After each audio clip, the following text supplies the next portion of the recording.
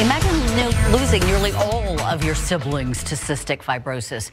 It's a genetic condition that makes it difficult to breathe. There are some treatments, but so far no cure.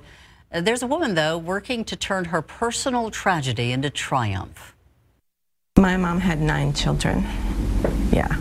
It was a big family. Wanda O'Neill gets emotional when talking about her eight siblings. I knew that my sisters and brothers had cystic fibrosis. In fact, six out of the nine children were diagnosed with the debilitating lung disease. My sister Nancy, and she was the first in the family to pass away. One by one, Wanda watched helplessly as five of her siblings became sick with pneumonia, eventually succumbing to CF. They were just so brave. Searching for a way to turn tragedy into triumph, Wanda has dedicated her life to CF research at the University of North Carolina. We're making steps.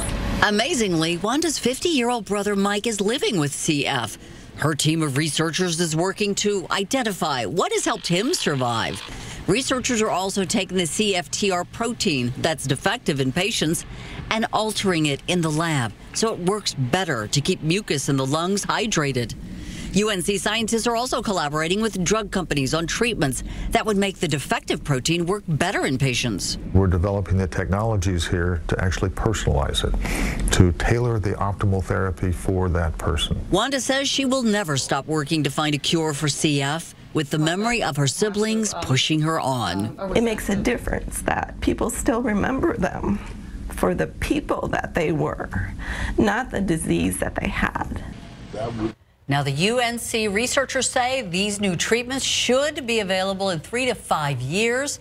The hope is to extend the lifespan of patients from their 40s now well into their 70s.